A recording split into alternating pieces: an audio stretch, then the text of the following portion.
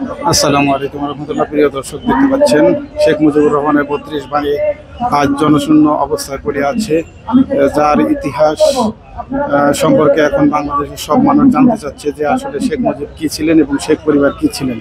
আপনারা দেখতে পাচ্ছেন যেখানে প্রতি বছর দীর্ঘ পনেরোটি বছর লোকাল অকারণ্য ছিল এবং আওয়ামী লীগ জনসমর্থনে ভরপুর ছিল। আজকের সেই বাড়িটি প্রায় পরিত্যক্ত অবস্থায় পড়ে আছে এবং আগুন দিয়ে জ্বালিয়ে দেওয়া হয়েছে। আপনারা দেখতে পাচ্ছেন, পাশের এই বাড়িটি হচ্ছে স্বরাষ্ট্রমন্ত্রী তার কাটা দিয়ে বেড়া দেওয়া হয়েছে। আর এই বাড়ির সামনে দেখতে পাচ্ছেন, হাজার হাজার ছাত্র জনতার ভিড়। আপনারা দেখতে পাচ্ছেন, ছাত্র জনতার দখলে আজকের শেখ মুজিবুর রহমানের বত্রিশ নম্বর বাড়ি। যে বত্রিশ নম্বর বাড়িতে শেখ মুজিবুর রহমান করেছেন। আপনারা দেখতে পাচ্ছেন স্কুলের ভিতরে স্কুলের ভিতরে পাঁচ থেকে মেডিকেল টিমে তিনজন পাঁচ থেকে স্কুলের ভিতরে ঢুকে যাচ্ছে। থাকব আজকে সারা রাত থাকব। স্টুডেন্ট প্রত্যেকে তাদের অনুভূতি জানাচ্ছে এবং কেন তারা এই বাড়িটিকে দখল করে রেখেছে। সেই সম্পর্কে এক একজনকে একটা ব্রিফিং দেখতে পাচ্ছি।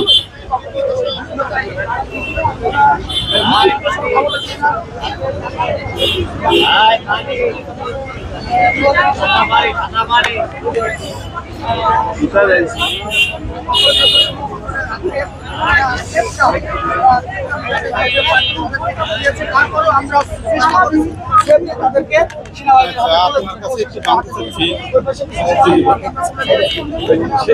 শেখ মুজিবুরের ইতিহাসটা নতুন করে কিছু জানার, ছাত্রদের জন্য বা জাতির জন্য জানার কোনো দরকার আছে আসলে দীর্ঘ পনেরো বছরের দেড় দশকের যেই স্বৈরাচারী সরকার ছিল তারা মুক্তিযুদ্ধ নিয়ে শেখ মুজিবকে নিয়ে যে একপাক্ষিক ইতিহাস রচনা করেছে, এই ইতিহাস থেকে বিকৃত রচনা, ইতিহাস রচনা করেছে, ওই ইতিহাস আমরা মুছে দিয়ে যেটা সত্যি ঘটনা সেটাই আমরা জাতির সাথে সামনে প্রকাশ করব, ইনশাআল্লাহ। এটা আমাদের ছাত্র সমাজের অঙ্গীকার। আমরা আজকে যতক্ষণ পর্যন্ত পরিস্থিতি স্বাভাবিক না হচ্ছে, আপনারা জানেন পনেরো আগস্টকে কেন্দ্র করে আওয়ামী লীগ ফ্যাসিস্ট যারা ইতিমধ্যে দেশ থেকে পলায়ন করেছে, তারা এই ধানমন্ডি বত্রিশে একটা অরাজক পরিস্থিতি সৃষ্টি করতে চাচ্ছে। এর সাথে সাথে সারা বাংলাদেশে একটা অরাজক পরিস্থিতি সৃষ্টি করতে চাচ্ছে। সেই অরাজক পরিস্থিতি সৃষ্টি করা, ঠেকানোর জন্যই আমরা মাঠে আছি। যতক্ষণ পর্যন্ত আমরা মনে করব যে পরিস্থিতি আমাদের অনুকূলে আছে, স্বাভাবিক, তখন আমরা এখান থেকে ফিরে যাব। আপনারা দেখেছেন, গতকালকে রাত্রে থেকে আমরা এখানে অবস্থান করতেছি। আরও যদি দু একদিন এখানে অবস্থান করা লাগে, আমরা অবশ্যই অবস্থান করব। এবং চাকরির মেয়াদ পঁয়ত্রিশ এবং আলহামদুলিল্লাহ। আমরা লক্ষ্য করেছি, আমরা এখানে আজকে অবস্থান গ্রহণ করেছি। খুনি হাসিনা সরকার, তিনি আবারও ঘোষণা দিতে চেয়েছে, আবার একটা নৈরাজ্য সৃষ্টি করতে চায়, আবার একটা বিশৃঙ্খলা তৈরি করতে চায়, বাংলাদেশকে আবারও অস্থিতিশীল তৈরি করতে চায়, আবারও আবারও বাংলাদেশের হাজার হাজার কোটি টাকা বিদেশে পাচার করতে চায়। তারই অংশ হিসেবে তারা আগামী দিনে আমরা যখন একটি গণবিপ্লবের মাধ্যমে যখন একটি সুন্দর সোনার বাংলাদেশ গঠন করতে পেরেছি সুন্দর সোনার বাংলাদেশ গঠন করার মধ্য দিয়ে তারা যখন ষড়যন্ত্র করেছে আমরা তাদের ষড়যন্ত্র রুখে দেওয়ার জন্য আজকে ধানমন্ডি বত্রিশে অবস্থান করেছি। আমরা জানতে পেরেছি আমরা লক্ষ্য করেছি আমরা লক্ষ্য করেছি তারা ধানমন্ডিতে একত্রিত হতে চেয়েছিল। আমরা তাদের নৈরাজ্য তাদের বিশৃঙ্খলা ঠেকানোর জন্য আমরা এখানে অবস্থান করেছি। আমরা দেখতে পেয়েছি ইতিপূর্বে তারা তাদের তিনটা টার্মের ষোলো বছরের শাসন আমলে অনেকেরই বিভিন্ন ট্যাগ দিয়ে যাদের জন্ম নাইনটিন সেভেন্টিন ওয়ানের পরে তাদেরকে রাজাকারের ট্যাগ দিয়ে বাংলাদেশকে নিষিদ্ধ করতেছে বাংলাদেশ থেকে নিষিদ্ধ করতে এসেছিল। আমরা লক্ষ্য করেছি আমরা দেখেছি গণমানুষের সংগঠন বাংলাদেশ জামাত ইসলামী ইসলামী ছাত্র শিবির মতো একটা সুন্দর সংগঠন। এই সুন্দর সংগঠনকে তারা নিষিদ্ধ করতে চেয়েছিল শুধুমাত্র জঙ্গি জঙ্গি আখ্যা দিয়ে। অথচ এখন পর্যন্ত আমরা লক্ষ্য করেছি কোন টেলিভিশন কোন সংবাদ পত্রিকা এখন পর্যন্ত এরকম কোনো প্রমাণ করতে পারে নাই, বাংলাদেশ জামাত ইসলামী ইসলামী ছাত্র শিবিরের কোন নেতৃবৃন্দ জঙ্গিবাদের সাথে সম্পৃক্ততা আছে।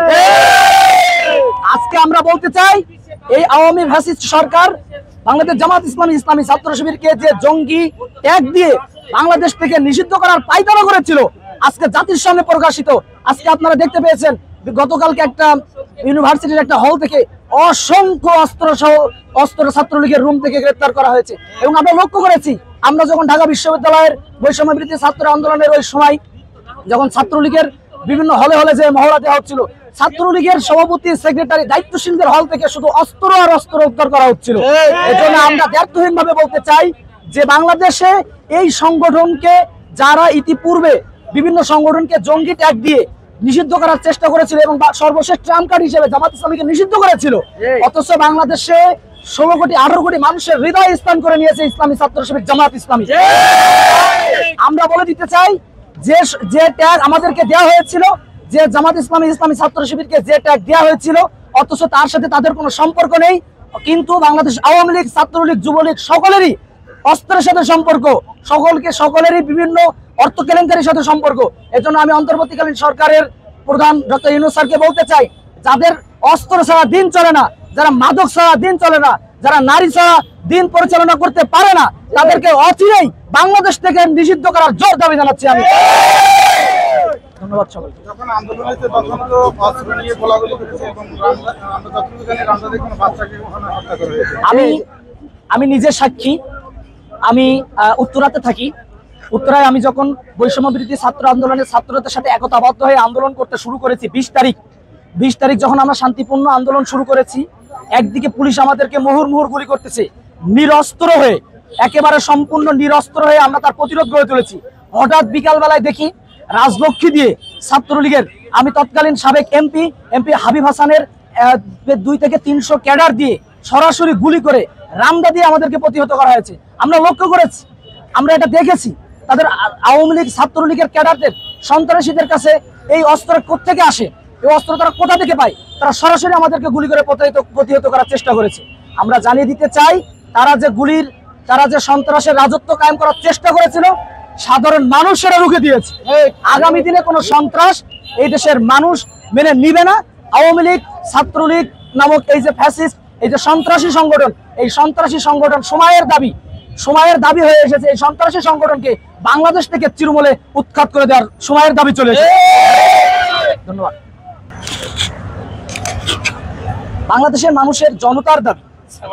শুধুমাত্র ছাত্র ছাত্র সমাজ না, আমরা লক্ষ্য করেছি সকল শ্রেণি পেশার মানুষ, আইনজীবী, শিক্ষক অঙ্গনের, আমার মায়েরা, আমার বোনেরা, তারা সকলেরই দাবি, এই আওয়ামী ফ্যাসিস্ট সরকার, যে সরকার ছিল, আওয়ামী ফ্যাসিস্ট সরকার যারা ছিল, তারা সন্ত্রাসী। এজন্য জার্মানির নাচ্ছি বাহিনীর মতো আমরা এটাকে চিরতর, চিরতরে বাংলাদেশ থেকে একেবারে সমূলে উৎপাত মানে একেবারে নিষিদ্ধ করে দেওয়ার জোর দাবি জানাচ্ছি।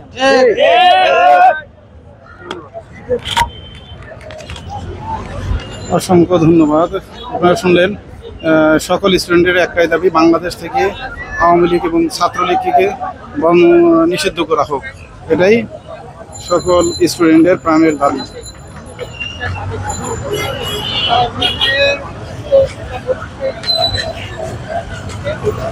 Thank you.